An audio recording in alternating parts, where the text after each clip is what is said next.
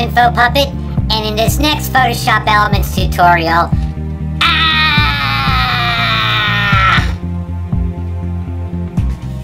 I told those guys these tutorials were haunted. Why didn't they listen to me? But listen, in this next Photoshop Elements tutorial, it's Dispersion Part 2.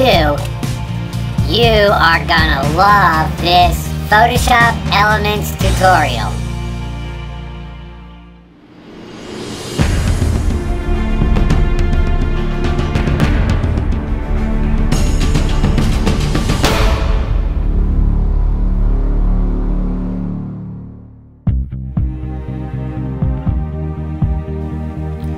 So Photoshop Elements 10 is opened up. We're going to go to Images, Tile, and Float in all windows. Real important that we start with that. And then New, Blank File, and we want a blank file with a white background. Okay, what we're going to do now is left click, hold, and drag. Just left click and hold and drag the girl over to the white blank file. And one more time. And again, this is a real easy way to make duplicates of the same image. Alright, what we're going to do now is we're going to double click on the lock on the background layer to unlock the background layer. And now I'm holding down the shift key on my keyboard and selecting layer 1. Now I'm going to right click and select merge layers. Now uh, we've got the girl in the background layer merged. I'm holding the shift key down again, I'm selecting the next two layers, right clicking and selecting merge layers again. Alright, now let's go to the toolbar and select the brush tool. Love the brush tool.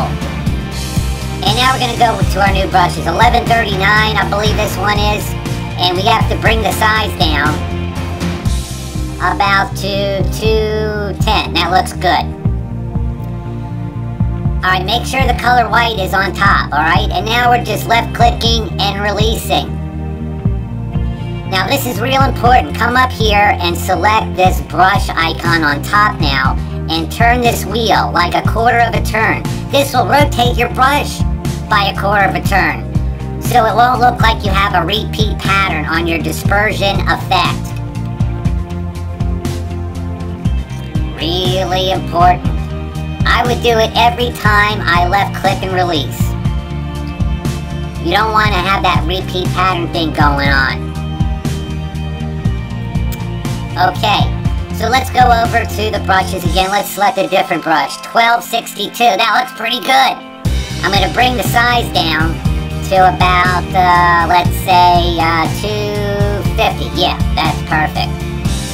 Now, again, I'm going to tell you guys right now that I'm going to fast forward this stuff so you're not going to see all the times that I go right here and turn this wheel for time reasons. Otherwise, I'm going to have a two-hour video. So we're in, uh, we're going into fast forward real soon. Okay, here we go. Again, you want to spend more time and keep turning that wheel so your brush head turns. Alright, now, layer 1 needs to be selected. Here's where the good stuff happens. Click on Add Layer Mask. Okay, there's your layer mask. Make sure the image is not selected. Make sure the layer mask is selected. And now we have to change the colors. Click this curved arrow. Make sure black is on top.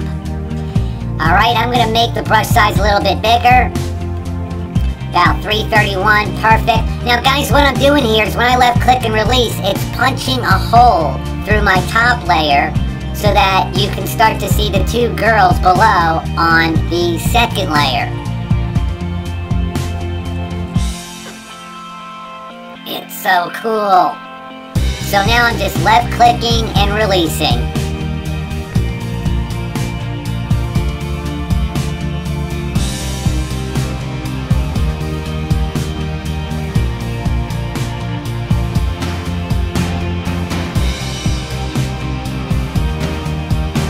If you think that you've got too much color going on, you can go over here and flip the colors around again and start clicking and now I'm just adding white and lightening things up again.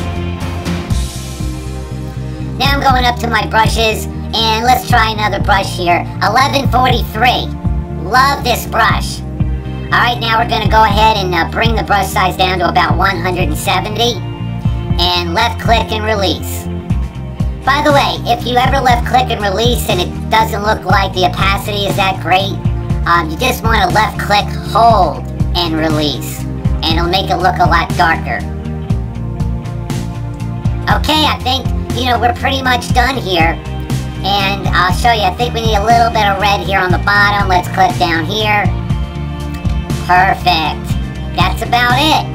Now look, I'm going to switch back to white and maybe just uh, lighten up some of the, the splashes of color around the edge here to help it blend a little bit better into the white.